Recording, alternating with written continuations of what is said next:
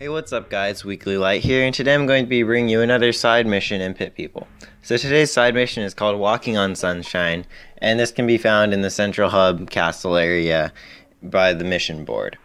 And the description reads, go to Megabat's basement and find the Sun Sword. Seems simple enough, there's only 4 skills in difficulty. How hard could it possibly be?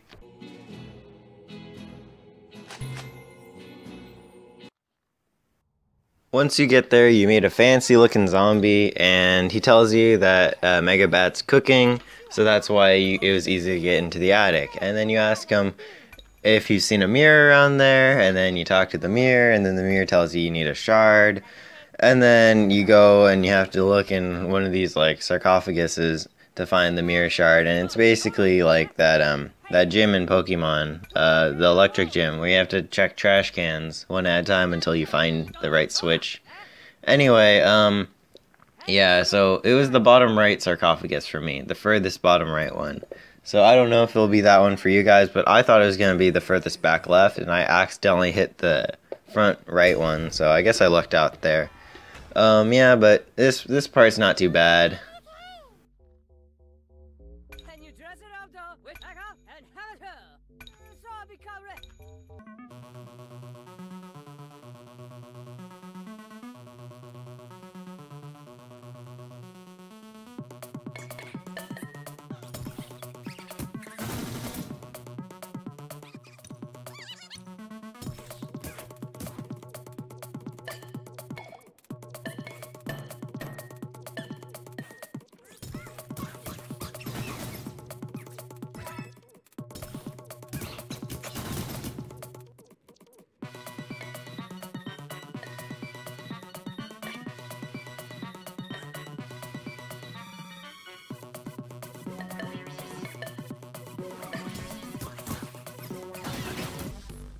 And then once you get the shard, then you have to defend it and take it back to the mirror. So this is where you want to have someone with high mobility head back.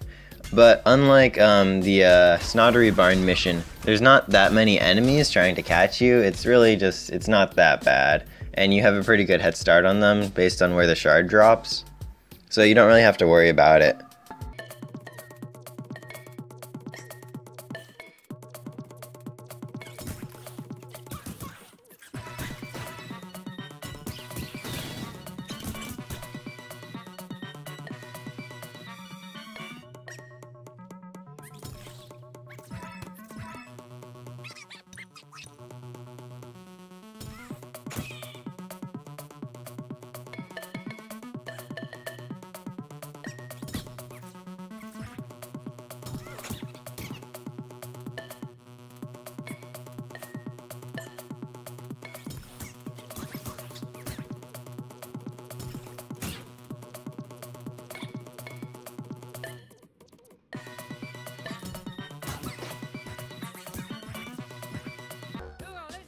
Once you get the shard back to the mirror, fire starts spurting out of it, and then it tells you that you should clear out the room so you and the mirror can chat. There aren't too many enemies, so it's a pretty easy fight here. Um, yeah. Just be sure not to open any more sarcophaguses, I guess, so you don't spawn any extra enemies. I'm not sure if you can accidentally open them, but I'd just be a little extra cautious. And I'd move towards the mirror, because I think you have to head towards the mirror later in the fight.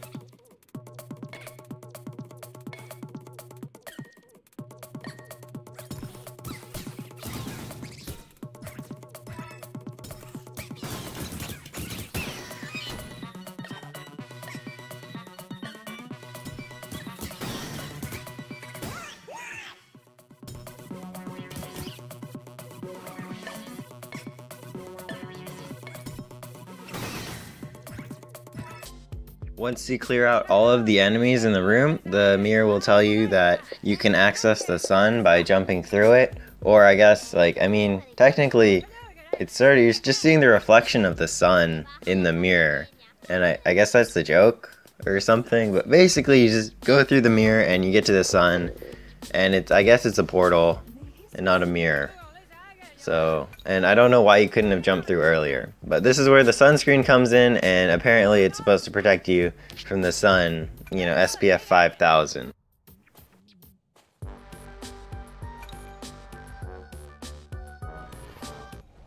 And once you get to the sun, well, I guess you can walk on sunshine, and that's where the name comes from. And somehow there's a mirror on the sun too, but don't ask me how, how that mirror's on the sun. But basically, you can walk on the sun, and you there's a sun sword just sitting there within arm's reach of the mirror, and you just have to go grab it. There's only two Cyclopses in the way, but sadly, you do take burn damage every turn, so you better on hurry up. Um, I don't think you actually need to kill the Cyclopses, but it, I killed them, and I think I captured one, because they look cool. Even though I already have three Cyclopses. Hindsight 2020. But, um, yeah, basically just another grab and get back to the mirror, and yeah, you better hustle. Uh, you gotta make it back to the mirror for this part. It won't auto-pull you in. You have to jump in one at a time, or two at a time, I think.